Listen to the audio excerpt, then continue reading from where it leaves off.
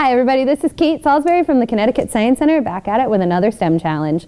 So today what you're going to need is four cups. As long as they're the same, it's fine. Plastic, glass, it does not matter. You're also going to need three popsicle sticks. Now to set up this challenge, you're going to need to take three cups and you're going to want to space them in a triangle so that you cannot have any popsicle sticks resting on any of the tops of these cups.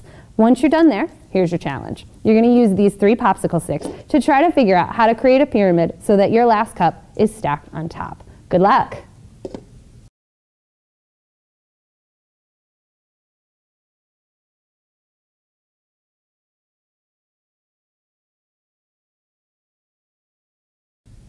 All right, welcome back. How'd it go?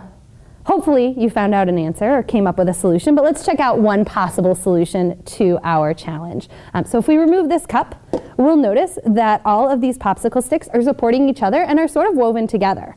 So we have made a nice strong base to be able to put our cup on top. If you try this at home and come up with a solution, please make sure you share it with us using the hashtag Science at Play and visit us at the Connecticut Science Center's website, ctsciencecenter.org for more cool science to do at home.